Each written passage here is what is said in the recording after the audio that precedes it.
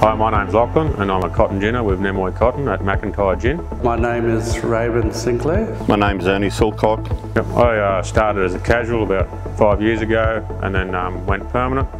I've been here for nearly 13 years now. I started last season um, just as a casual.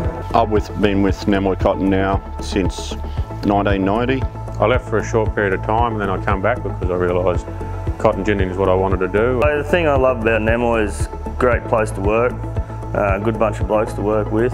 They're always willing to, to help me, teach me new skills.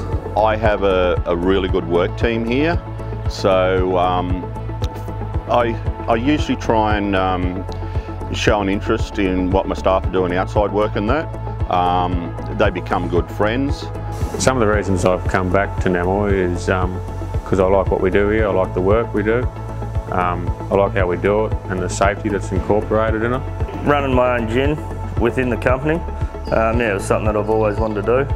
I enjoy the work environment. Um, with a, this, there's a lot of safety aspects. It's quite funny. You do a long ginning season where you're doing long hours um, for several months of the year. You look forward to the maintenance time coming when you can do shorter days.